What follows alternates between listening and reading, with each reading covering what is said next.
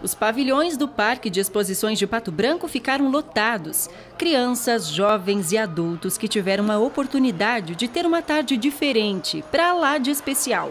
Muitos brinquedos foram montados. Teve escorregador inflável e cama elástica, os preferidos da criançada. Eles receberam lanche e teve até a distribuição de centenas de brinquedos. O Natal do Amor reuniu centenas de pessoas no Parque de Exposições aqui de Pato Branco para celebrar todas as ações desenvolvidas pela Secretaria de Assistência Social de Pato Branco durante o ano de 2019.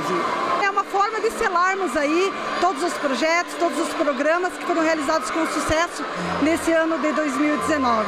Então, tem muitos brinquedos, lanches, né, muitas coisas para que as crianças e as famílias possam estar então usufruindo. A Silvana mora no bairro São Cristóvão. Trouxe os dois filhos para o Natal do Amor. É muito lindo, muito divertido. Eu gostei tanto, né? Primeira vez que eu tô, né? Participei em tantos. Hoje foi o melhor dia do mundo para meus filhos. Tá se divertindo, né? Gostei tanto. Espero ter mais, bastante, né? A Marielle tem 11 anos e veio com a sobrinha. Ela também participa dos projetos oferecidos pela secretaria e gostou muito das atividades. O que você mais gostou aqui? De tudo. Tudo tá bom? Tudo tá bom. E ganhar presente é especial? Sim. Você trouxe até a tua sobrinha para ganhar presentinho também? Sim.